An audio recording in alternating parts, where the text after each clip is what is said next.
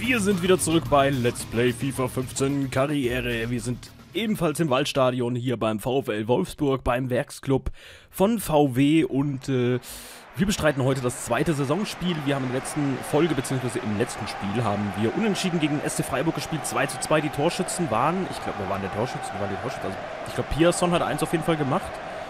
Und das andere hat wer nochmal geschossen? Ich weiß es schon gar nicht mehr. Da bin ich gerade ein bisschen zu verpeilt. Naja, jedenfalls hier sind wir da hier.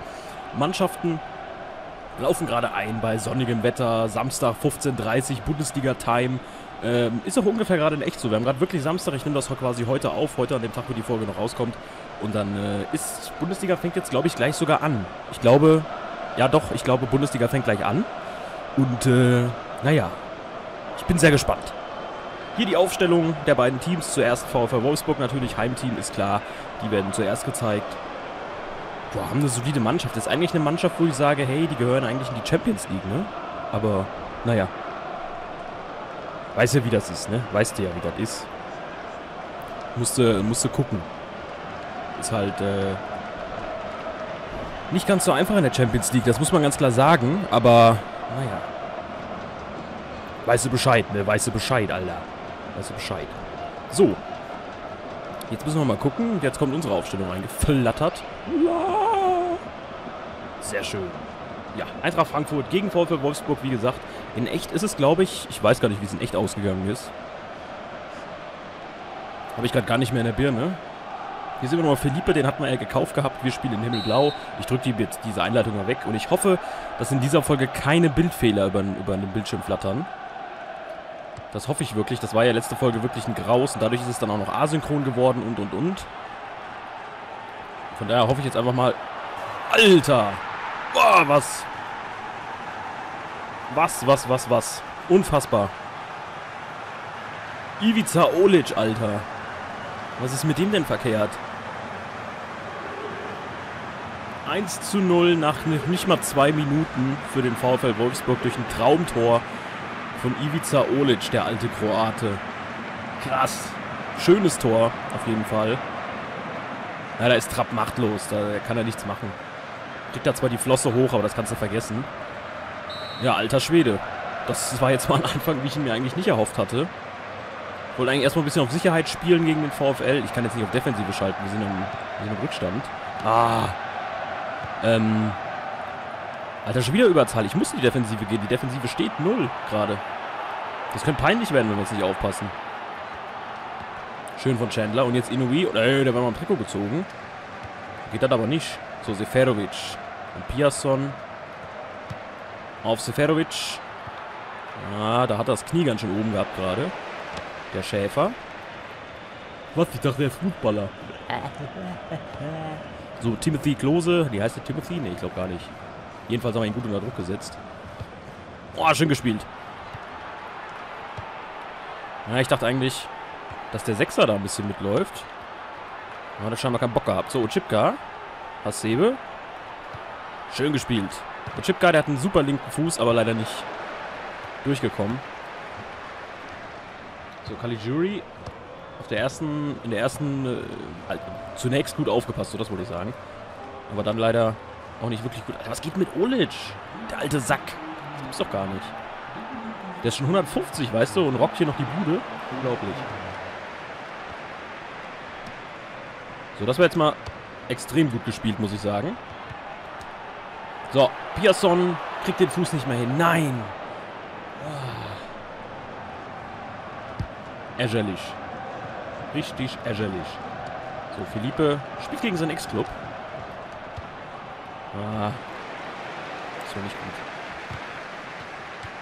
Das war zwar stark gemacht von Inui, gut nach hinten mitgearbeitet, aber nicht gut genug. Da haben wir Malanda, vor dem brauchen wir eigentlich nicht wirklich Angst haben. Wer die ersten zwei Saisonspiele vom VfL Wolfsburg gesehen hat, gegen die Bayern und gegen Frankfurt, weiß, was ich meine. Wobei der Arme mir echt leid getan hat. Das ist echt mies. So, hier kriegen wir eigentlich einen Freistoß gut geschrieben. Oder auch nicht.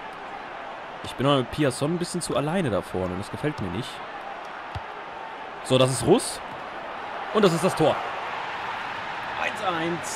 Marco Russ. Bester Jubel ever.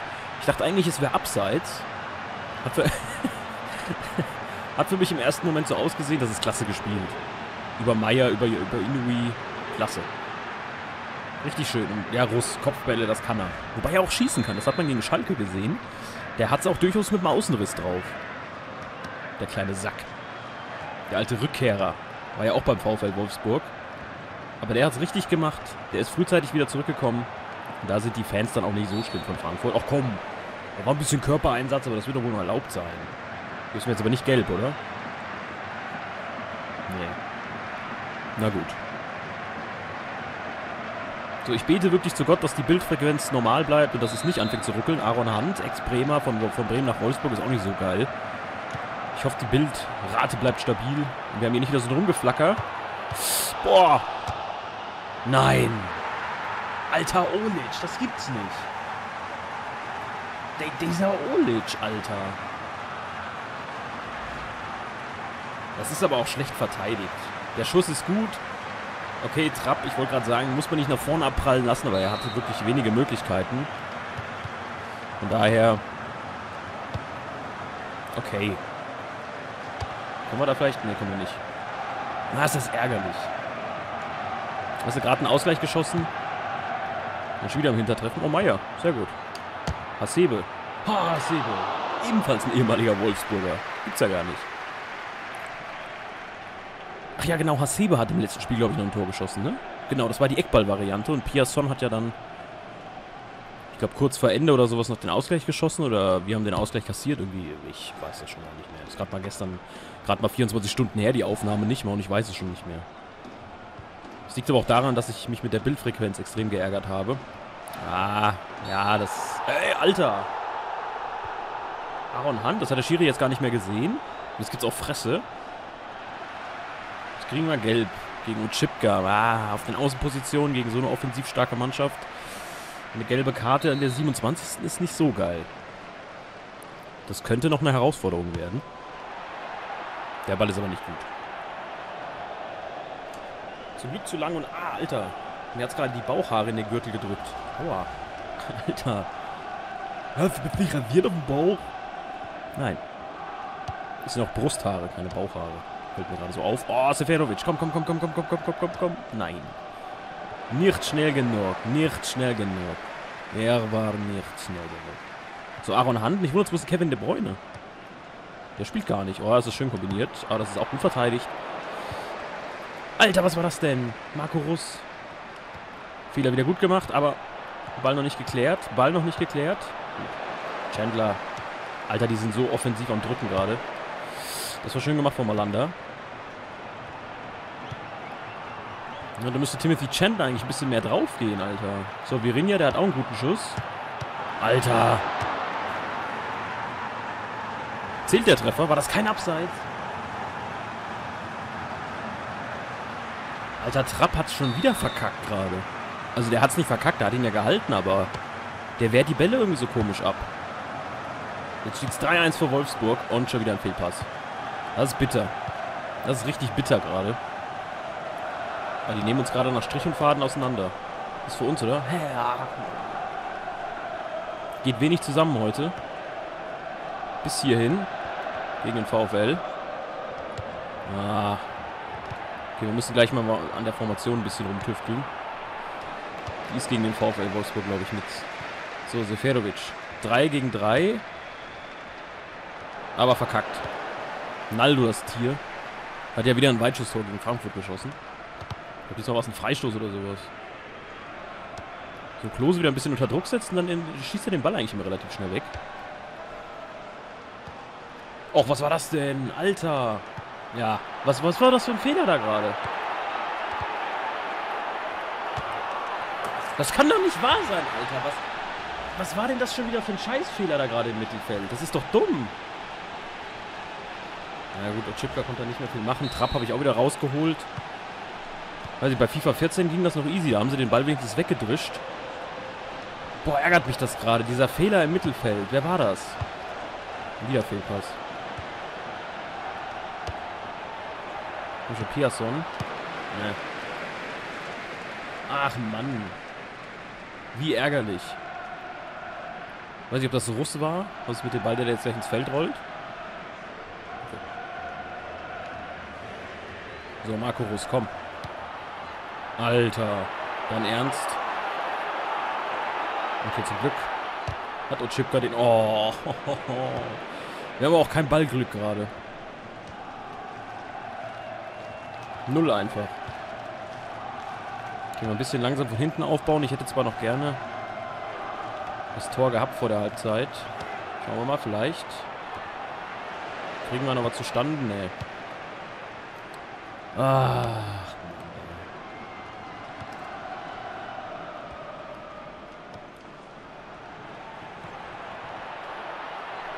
Alter, der Ulic packt aber auch gut den Ellenbogen aus, ne? Hat er vorhin noch am Trikot gezogen. Das sieht der Schiedsrichter aber auch überhaupt nicht. Oh, das ist ein Ball, den man haben muss. Das ist ein Ball, den du haben musst. So, erste Halbzeit ist vorbei, ziemlich ernüchternd. Es steht 4-1 für Wolfsburg. Das Ding ist eigentlich gegessen. Das Ding ist gegessen. Eigentlich, aber naja. Ich habe die Hoffnung noch nicht aufgegeben. Hier haben wir die anderen Ergebnisse. Das ist auch gerade Halbzeit. Bayern gegen Schalke steht es 1-1. Paderborn Hamburg 1-1, Werder Bremen Hoffmann 1-1. Es geht ja richtig zur Sache hier. So bleiben wir erstmal so. Und schauen mal, was so geht.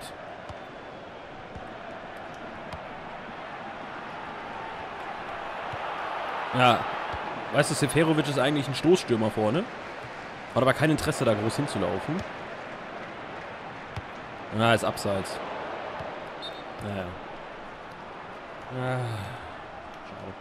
okay, wir müssen alles auf eine Kappe setzen. Wir können nicht mehr wie noch mehr Tore kassieren. Von daher, gib ihn. Es kann ja auch nicht sein, dass die mit drei Spielern da vorne hier die Musik machen und wir haben eigentlich Defensiven und noch vier Abwehrspieler. Das geht eigentlich gar nicht. Ja, guck dir das an. Kali Jury kommt dazu einfach durch.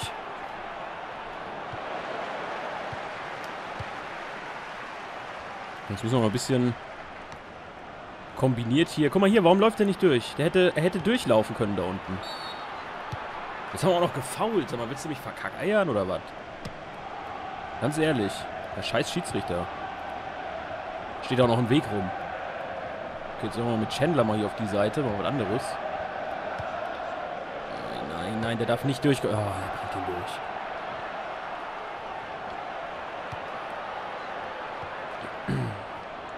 Ja, die sind immer einen Tacken schneller da, wie wir. Der, der Schiedsrichter pfeift doch alles für Wolfsburg. Das ist dem gerade mal scheißegal, auch wenn es nur so eine kleine Anrempler ist. Ist dem gerade mal kacke wurscht, weißt du? Da wird sofort gepfiffen. So. Jetzt renn mal durch da unten, Alter. Das kann ja wohl nicht wahr sein. Gib mal Stoff, Inumi. Gib mal Stoff. Oh, das gibt's nicht.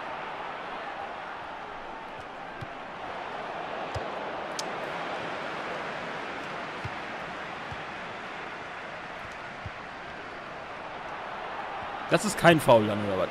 Das ist doch nix. Alter, der Schiedsrichter, ne? Ich meine, es liegt nicht am Schiedsrichter, dass wir hier 4-1 hinten liegen. Ganz und gar nicht. Aber so Kleinigkeiten, der pfeift eigentlich echt immer nur pro Wolfsburg. Ja, jetzt kommt noch Kevin De Bruyne, Alter. Die belgische Kampfmaschine. Das ist heute aber auch kein gescheites Passspiel da vorne. Nur Fehlpässe. Nicht mehr, nicht weniger. Was gibt's jetzt? Ja, natürlich wieder Freistoß für Wolfsburg. Sag mal, ist das dein Ernst, Schiri? Ist das dein Ernst? Ist das wirklich dein Ernst? Kriege ich eine Wiederholung, was ich gemacht habe? Natürlich nicht. Ja. So, Naldo.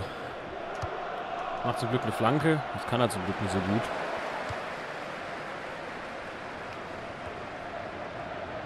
So, Piasson. Der tankt sich da jetzt mal durch.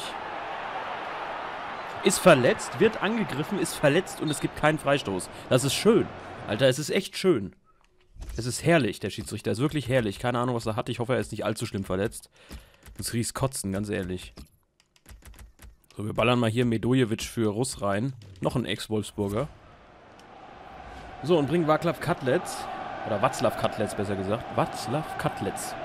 Scheißname. Ähm, und halt Medojevic für Russ, auch wenn es nicht mehr allzu viel bringt. Da haben wir Aaron Hand auf der Bank. Aaron Hand, arrogant, verstehst du? ah. Ja, da oben sehen wir es nochmal. Medojevic. Jetzt in der Partie. Die Wolfsburger tun sich natürlich jetzt aufs Verwalten konzentrieren, warum auch nicht? Oh. Die haben auch in der Offensive immer eine Anspielstation. Wir stehen hinten einfach nicht gut heute. Ist einfach so. Ah, es war abseits. Es war abseits. Der Meier steht im Abseits. Und Seferovic, die Laufwege von dem da vorne sind heute auch eine Katastrophe. Ja, hier ist auch immer einer, der noch absichert, der den Ball nimmt, falls ihn einer von den Wolfsburgern vergisst. Die brauchen sich halt echt nur aufs Verwalten konzentrieren. Spielen hier Passspiel runter, die haben ja ihre Arbeit getan in der ersten Hälfte. Ach, Alter. Kann man mal einen Ball anbringen, verdammt. Das kann doch nicht wahr sein. Ja, der macht zwei Schlenker und wir sind ausgedrickst. Das kann es nicht sein. Das ist auch noch fast ein Eigentor. Das wäre es jetzt gewesen.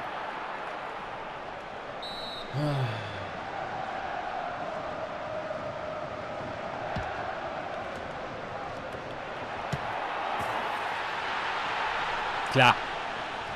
Natürlich. Klar, ganz klar. Komm, da will ich mir gar nicht angucken. Alter, 5-1, das ist eine fette Klatsche. Das ist ja fast schlimmer als damals gegen Berlin. Ja, wobei, da stand es, glaube ich, 6-1 oder so. Aber trotzdem. Das ist eine fette Klatsche. Das kann ich eigentlich gar nicht hochladen. Ja, wisst ihr schon, wer hier Meister wird bei uns in der Saison? Wolfsburg.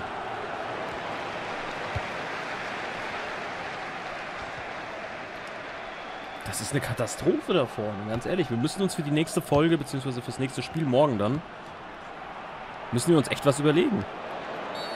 Ja, oh, oh wir haben den Freistoß bekommen. Alter, Schiedsrichter, was los? Was geht denn mit dir, Alter? Ja, wir müssen uns wirklich eine andere Formation überlegen. Die ist doch ziemlich beschissen, muss ich sagen. Ich komme damit gar nicht klar. Müssen wir mal gucken. Siehst du, da steht wieder einer, der den Ball gewinnt. Das darf nicht sein. Und er pfeift schon wieder Freistoß für Wolfsburg. Alter!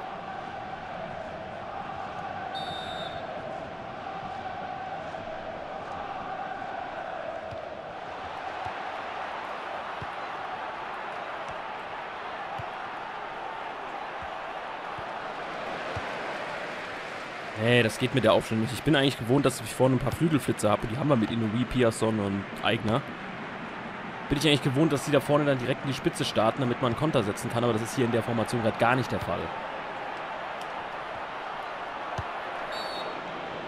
Was gibt's denn jetzt? Elfmeter oder was? Nee, wir haben Freistoß bekommen. Krass.